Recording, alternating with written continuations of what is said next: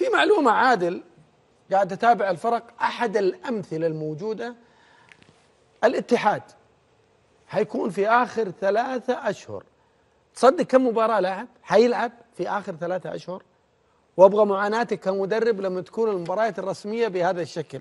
تفضل يا كابتن عادل هذه آخر ثلاثة أشهر. مباراة مباراتين ثلاثة أربعة خمسة ستة سبعة. سبع مباريات في ثلاثة أشهر سيلعبها الاتحاد. من 18 ثلاثة إلى 23 ستة. إيش حتسوي أنت كمدرب؟ صعب.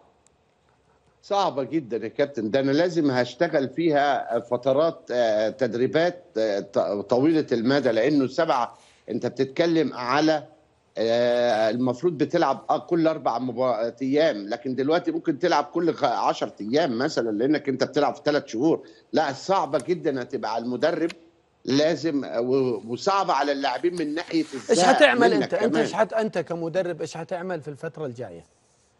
آه، م- مش هقدر أعمل إلا بينهم مباريات ودية كتير يمكن آه، أقدر إن أنا آه، أعمل جدول خاص بي أنا وهسكن مباريات السبعة بتوع الدوري دو- أو بتوع اللعب اللي أنا ألعبهم الرسميين هسكن معاهم مباريات ودية ممكن تناسب أنا بقدرات لعيبتي وال- وال- والفترة الزمنية اللي بيجيد فيها اللعيب في الأسبوع مثلا يلعب مباراة ممكن أعملها كل اسبوعيا وأحدد وأشتغل على مباريات ودية جانب المباريات دي. والله القرار آه، كان مجبرين فيه يعني ما فيه القرار التأجيل. لكن الأندية ستعاني واللاعبين سيعانون والمنتخب سيعاني ورينارد هو المعاني الأكبر على حسب علمي